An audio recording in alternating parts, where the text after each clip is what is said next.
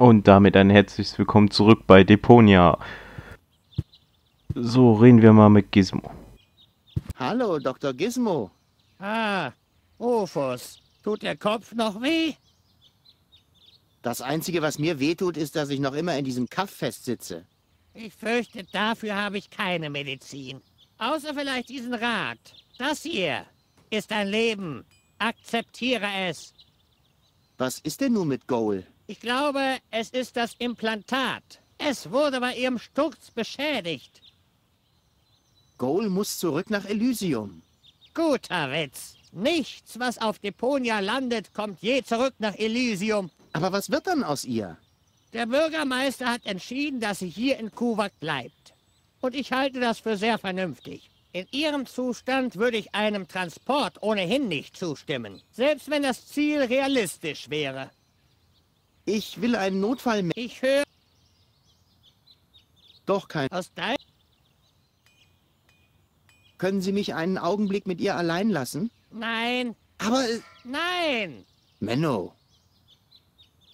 Ich komme wieder. Ich kann es kaum abwarten. Wir müssen Klites verständigen. Die Frage ist... Mit dem Postamt?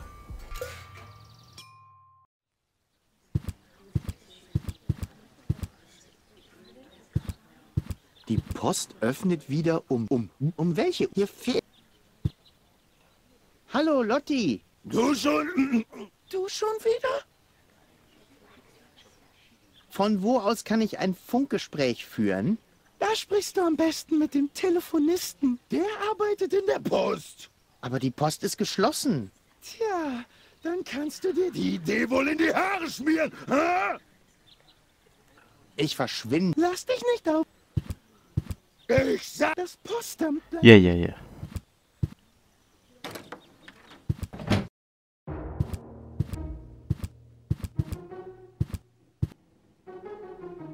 Diese Technik ist voll für die Katz. Wie komme ich denn jetzt am Nächster bitte. besten irgendwie rein? Gold trinkt ihren Kaffee schwarz.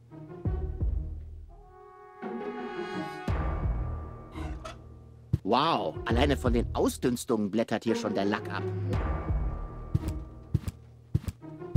Wie komme ich jetzt in die Post? Nein.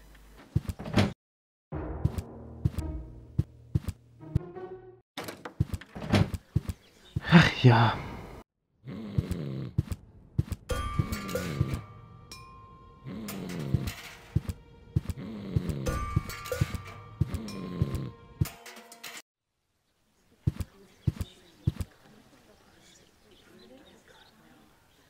Das muss nicht...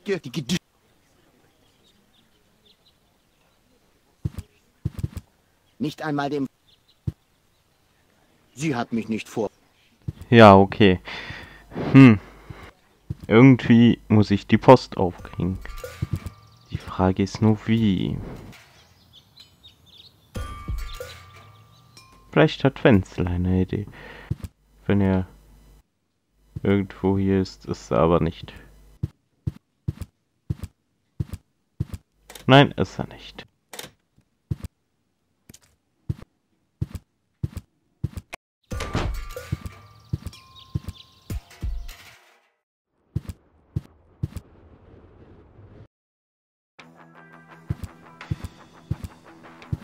Du, Lonzo, Ah, Rufus.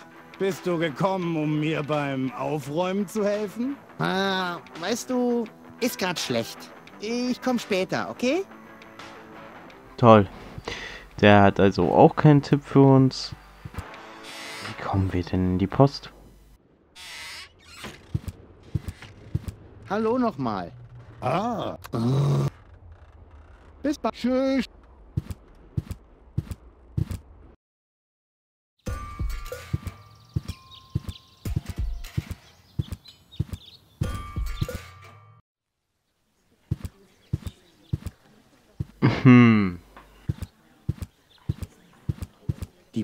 Post äh, um. Um welche F Also, das Erden kein Grund nach. Ich hab nix für dahin zu hängen. Ich hab einfach nix. Hm, gehen wir doch mal zum Bürgermeister hier.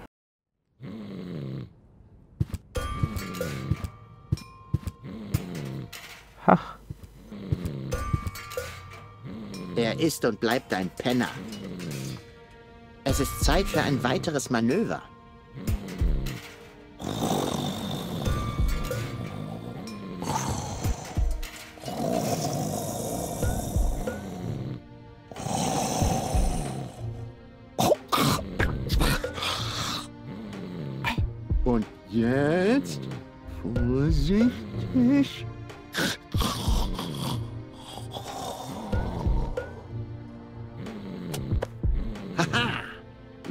Lange Finger, leise Treter, Rufus war der Übeltäter.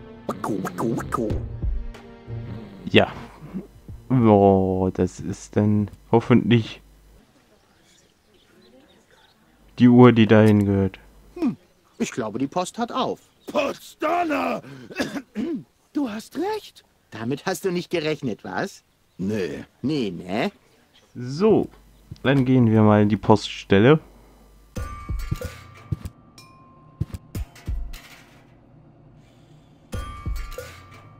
Klappe, eine Klappe. Wurde.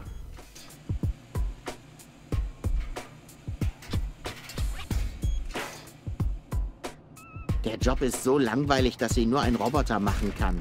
Und selbst der zeigt schon Anzeichen einer Depression. Ähm, hi. Bitte nennen Sie Ihr Anliegen.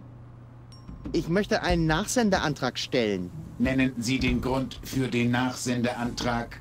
Ich wohne in Zukunft in Elysium. Selbstüberschätzungserror. Von wo aus kann ich funken? Ausgehende Funkgespräche können von jedem angemeldeten Privatgerät aus geführt werden. Wo finde ich denn so ein angemeldetes Privatgerät? Es ist kein privates Fernsprechgerät für Außerortsgespräche registriert, Was soll denn das heißen? Man muss doch irgendwie nach außen funken können. nicht von einem privaten Gerät aus. Okay. Sind denn andere Fernsprechgeräte registriert? Es existieren drei Registrierungen für Innerortsgespräche. Eine Anlage befindet sich im Büro von Bürgermeister Lotek, eine weitere am Empfang des Rathauses. Die dritte Anlage ist das Notrufsystem der Notfallstation. Aber von da aus kann man nur interne Gespräche führen? Na, perfekt. Gibt es denn gar keine externen Geräte? Es existieren keine externen Geräte außer dem Horchposten der Post und dem Backup-System im Tresorraum. Na, das sind doch schon mal zwei. Beide Geräte sind nicht zur öffentlichen Nutzung freigegeben. Verdammt. Ich würde gerne selber ein privates Gerät für Außerortsgespräche anmelden. Sehr gerne. Wo soll das Gerät installiert werden? Tonis Hütte liegt im Planquadrat 4, direkt am Ausgang des Osttunnels. Ihr Auftrag wurde registriert. Die Installation der Anlage wird voraussichtlich in Kalenderwoche 63 abgeschlossen sein. Was?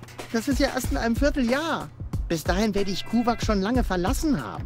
Die Installation der Anlage dauert 3,799 Monate. In diesem Zeitraum wird Ihr Haus von der Strom- und Wasserversorgung der Gemeinde getrennt. Ohrenschützer gegen den Lärm der nächtlichen Bohrungen sind im Preis inbegriffen. Wie möchten Sie zahlen? Toni zahlt für mich. Darf ich in den Tresorraum? Nur über meine verrosteten Wrackteile Das können wir arrangieren. Mann, bist du langweilig. Ich meine, macht dir der Job überhaupt Spaß? definieren Sie Spaß. Also bei dir ist ja echt Hopfen und Malz verloren. Spaß halt. Wie wenn jemand vor deinen Augen in eine offene Müllgrube fällt. Oder sich aus Versehen den Fuß anzündet. Zerstörung ist Spaß. Ja, wenn sie nicht dir passiert. Ich mag es, die Luftblasen in der Knickerfolie zu zerdrücken. Ist das auch Spaß? Wenn's dir gefällt. Leider brauche ich die Knickerfolie immer nur, um Pakete mit kleinen Gütern aufzufüllen, die irrtümlich in Paketen der Frankierungsstufe 3 gelandet sind. Und das passiert so gut wie nie. Aber wenn es passiert, dann ist hier bestimmt Party. Du hast also ein Faible für Knickerfolie.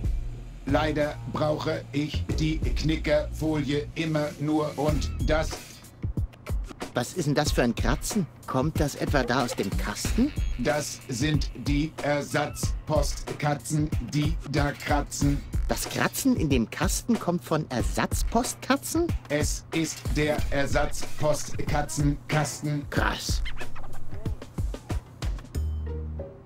Ersatzpostkatzen, wie putzig. Und sehr nützlich. Ich muss die Postkatzen wechseln, wenn sie schmutzig werden. Und den Ersatzpostkatzenkasten musst du nicht putzen? Doch, aber nur mit Putzmittelersatz. Das ist sehr lästig. Und wohin packst du die putzigen Ersatzpostkatzen, wenn du den Ersatzpostkatzenkasten putzt? In den Ersatzpostkatzenkasten Putzmittelersatzsack. Potzdonner.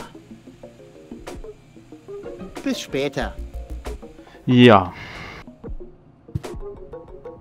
Dann Fehler, Fehler. Dann halt nicht. Dann gehen wir mal die Klappe aufmachen. Eine Katze in einem Laufrad. Süß. Man lässt eine Katze die Briefmarken lecken? Na, wenn die mal keinen Mist baut. Ein bisschen zu langsam oder ein bisschen zu schnell und die Lieferung ist gleich falsch frankiert.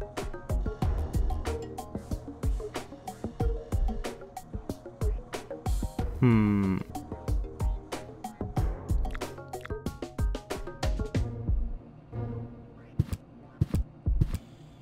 Ich will das nicht verschicken. An wen auch? Der Einzige, der damit umgehen kann, bin ja wohl ich. Ich habe hier diese Geschenkgutscheine aus Tonis Laden. Geschenkgutscheine verifiziert. Ein leichtes Bleigewicht aus Lager 1. Geben Sie nun die Adresse ein. Wohin? Ja, die können Sachen fragen. Oh, was sag ich nur, was sag ich nur, was sag ich nur? Äh, äh, ja, äh, ja, also vielleicht äh, nach... Äh, Adresse verifiziert. was? Versand wird initiiert.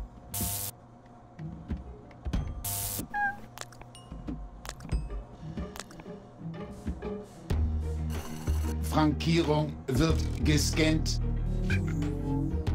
Die Frankierung ist korrekt. Ein leichtes Paket wird verschickt.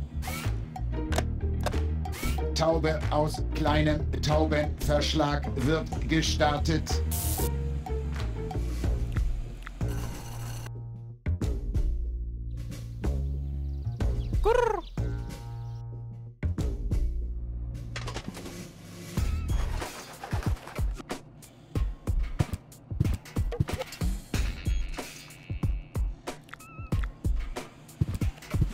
Stimmt. Sie könnte wirklich mal ein bisschen mehr Gas geben. Komm, Kitty, Kitty. Hey, der Kaffee lässt sie schneller arbeiten. Ich sollte Projektmanager in einer Computerspielefirma werden. Wie die Katze jetzt reinschaut. Stimmt. Sie könnte wirklich mal ein bisschen mehr Gas geben. Komm, Kitty, Kitty. Hey, der Kaffee. Ich sollte Projekt... So. Habe ich denn. Ja, ich habe noch ein paar gut. Ich habe hier diese Geschenkgutscheine aus Tonis Laden. Geschenkgutscheine verifiziert. Ein leichtes Bleigewicht aus Lager 1. Geben Sie nun die Adresse ein. Wohin? Adresse verifiziert. Was? Versand wird So, mal schauen, ob das jetzt anders ist. Frankierung wird gescannt. Die Frankierung ist korrekt. Ein leichtes Paket wird verschickt. Taube aus kleinem Taubenverschlag wird gestartet. Schade. Hat doch nicht so geklappt, wie ich gedacht habe.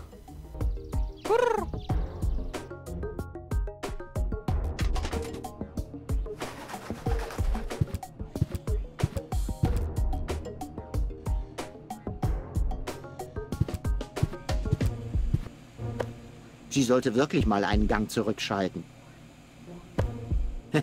Wie entspannt sie auf einmal ist. Und schon läuft sie wieder mit normaler Geschwindigkeit. Wie entspannt. Naja, wir wollen's mal. Wahrscheinlich gesehen dürfen die beiden nicht das gleiche haben. Ich habe hier diese Geschenkgutscheine. Geschenkgutscheine verifiziert. Ein Ja, ja, ja, leichtes Paket, bla.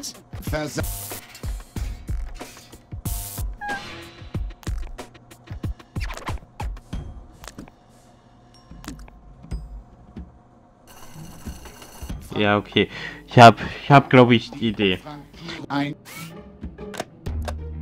Taube aus kleinem Taubenverschlag wird Die auf dem Drehrad muss langsam sein, auf dem Laufband und die andere, die wird jetzt aufgeputscht. Ich glaube, das ist der richtige Weg.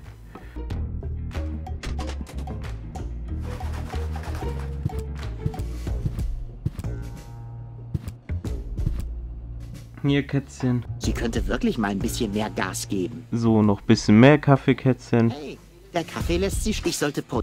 Naja, wir. Schade, nicht noch mehr Kaffee. So, dann das Ganze hier nochmal. Bla bla. bla. ein G Adresse Was? Ver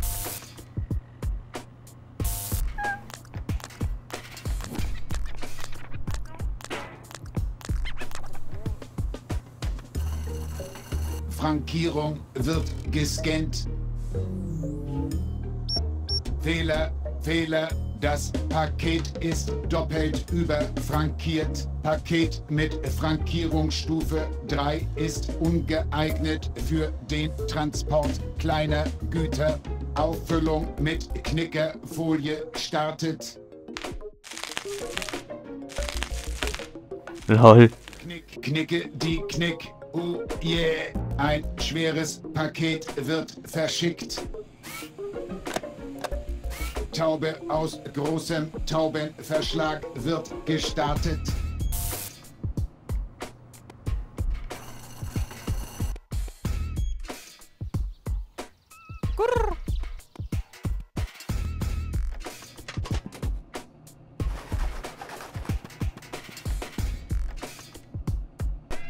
Hm. Fehler, Fehler. Dann halt nicht.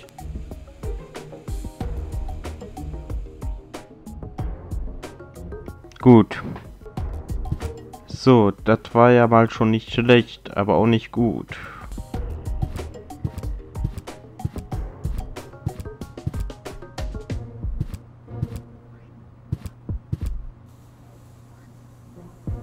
Schnell machen und die langsam. Was passiert dann? Die Pakete. So, versuchen wir das mal. Und schon läuft. Die schnell Hey, der Kaffee. Ich sollte. und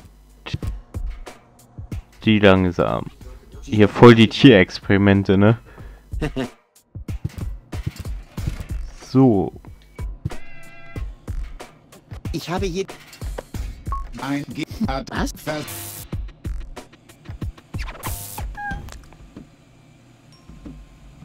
Frankierung wird gescannt. Fehler, Fehler. Das Paket ist doppelt unterfrankiert. Versand ist fehlgeschlagen. Bitte bestellen Sie erneut. okay, das... Das ist anscheinend auch nicht richtig. Wow, alleine. Wow, alleine von den Ausdünnen. Nein, nein, hier. Sie könnte. Kriegt sie normal mal. Das habe ich ja auch noch nicht versucht. Ich habe hier... Ge eingeben. Adresse. Was? Versand. Gucken, wie viel Franken jetzt da drauf kommen. Eine. Frankierung wird gescannt. Fehler, Fehler. Das Paket ist einfach unterfrankiert. Versand ist fehlgeschlagen. Bitte bestellen Sie erneut.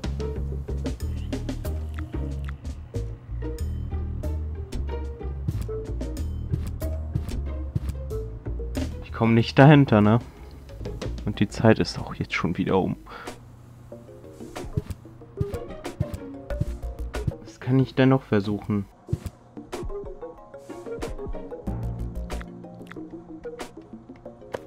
Und schon läuft sie wieder mit normaler Geschwindigkeit. Ganz langsam zu machen. Hier. Ich habe hier... Mal gucken, was jetzt passiert.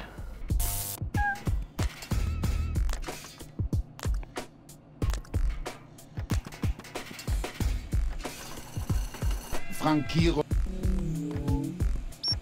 Fehler, Fehler. Das Paket ist einfach überfrankiert. Pakete mit Frankierungsstufe 2 sind ungeeignet für den Transport kleiner Güter. Auffüllung mit Knickerfolie startet. Knick, he, he, ein mittelschweres Paket wird verschickt. Taube aus mittlerem Taubenverschlag wird gestartet.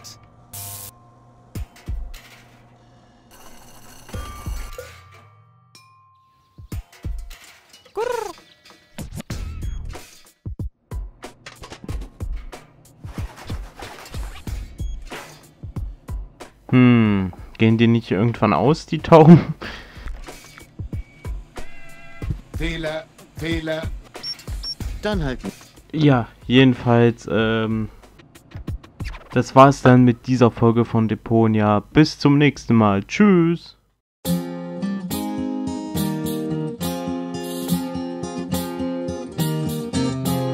Du alte Memme, denkst du hast Probleme, nur weil etwas abwascht die Spüle verstopft. Spar das Gezeter, Gedenke der Väter, sie hausten in Armut umgeben von Schrott. Doch wo alles verloren schien, war einer geboren.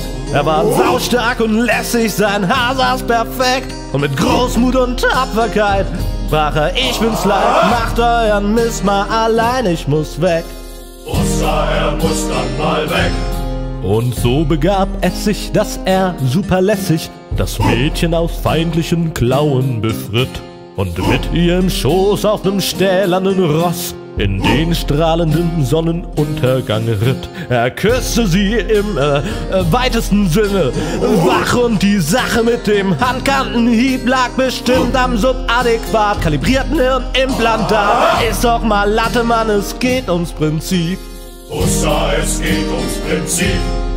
Historiker streiten, was wohl auf den Seiten geschrieben stand, die hier im Folgenden fehlen. Und wo all die Schrammen und Beulen herkamen, von denen Goals Zeitzeugen hernach erzählen. Ist ja eh nicht der Punkt, denn schließlich war's ihm gelungen, sie weitestgehend unverletzt zum Treffpunkt zu bringen und das ohne auf Lohn zu bestehen. Von der Belohnung mal abgesehen. Doch jetzt heißt es Hussa auf gutes Gelingen. Oster auf gutes Gelingen. Jetzt seid ihr geplättet, denn die Datasette wurde nicht resettet, genau wie geplant. Die Welt war gerettet, an die er gekettet. Ich wette, ihr hättet dasselbe getan. Und willst du mich jetzt noch zwingen, den Müll rauszubringen, abzuwaschen, zu saugen und Dinge dieser Art? Hast du wohl nicht aufgepasst? Der Punkt ist doch das. Hussa und so, der Kurs, volle Fahrt. Oster, der Chor ist am Start.